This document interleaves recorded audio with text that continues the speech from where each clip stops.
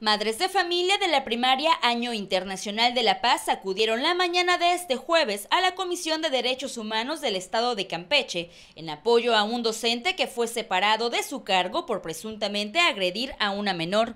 Después de que el pasado 21 de junio los paterfamilias tomaran el plantel en descontento por la suspensión del docente y exigiendo la renuncia de la directora Tomasa Hernández Briceño, a quien acusaron de supuestas anomalías como quedarse con dinero de la tesorería y maltratar a los maestros. Los denunciantes afirmaron que no se detendrán hasta lograr que el maestro sea restituido.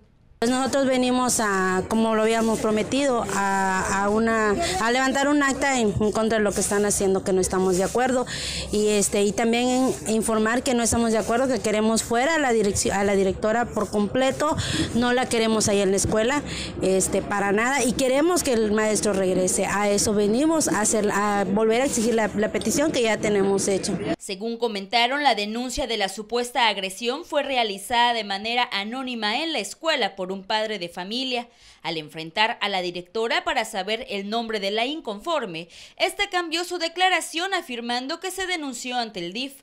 No obstante, afirman que el docente nunca había tenido ningún problema con nadie, por lo que se les hace raro que exista tal acusación. Eso venimos a pedir igual aquí a Derechos Humanos, que aparezca la mamá que supuestamente este, ha hecho la demanda ante el DIF. En eso estamos, a eso venimos a exigir que si hay una demanda interpuesta ante el DIF o hasta donde, donde sea, que aparezca la persona y que aparezca el papel, porque nosotros sí estamos comprobando con hechos, estamos haciendo lo que nos están pidiendo. Agregaron que no es la primera ocasión en que la directora se ve envuelta en problemas al interior del plantel, pues según declararon, ha lucrado con movilidad escolar y de limpieza, además de favorecer a un reducido grupo de docentes a quienes les permite hacer lo que deseen en la escuela. Tenemos conocimientos de que la directora ah, en, otras escuelas ha hecho lo mismo, que en la escuela de Coben, en la escuela de Fidel Velázquez, ha hecho lo mismo.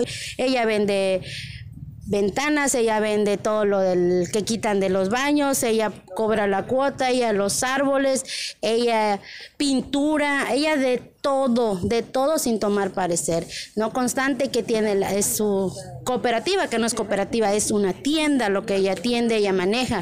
Sí, lo manejan sus maestros, porque no cualquier maestro lo maneja. En la edición de Yajaira Álvarez con imágenes de Roberto Espinosa para Telemar Noticias, Valeria Sotolivas.